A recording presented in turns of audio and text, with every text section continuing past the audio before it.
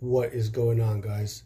Let's look at this Craftsman V-Series Extra Extra L single flex head double box end wrench set and compare the back drag torque across these different sizes of wrenches.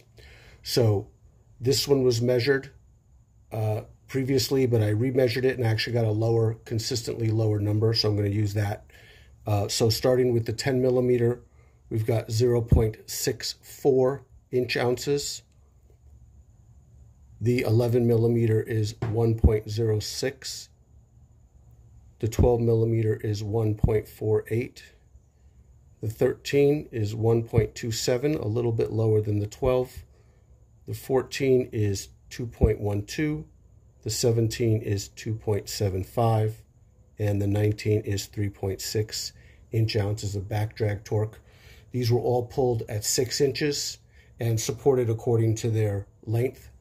So I thought that was pretty interesting. And again, um, just so that you guys can see, I use these um, hex sockets, Allen hex sockets from a Sunex set to support the wrenches. So I think that's pretty interesting. I'll go ahead and put the data in the description so you can take a closer look at it. Thanks for checking it out, you guys.